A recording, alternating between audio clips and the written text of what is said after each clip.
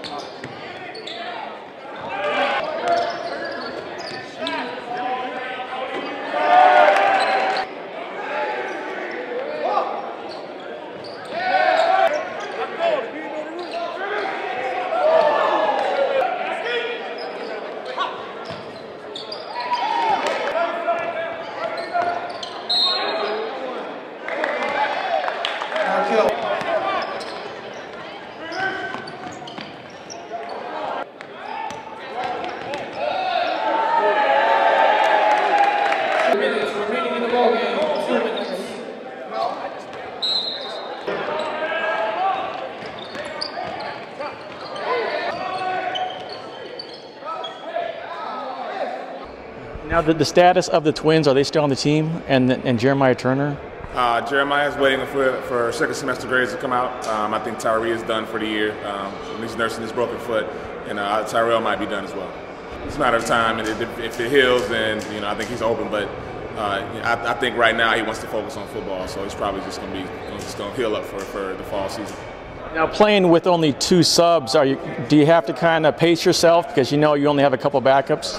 Uh, we've never been a pacing team. We've been an all go out, always run. So can't really do that. We just got to make sure we're in shape, run a lot during the week, so we're ready for the weekend. It was. It's always good to go against someone like my size. So uh, it was hard to score a little bit because they're athletic.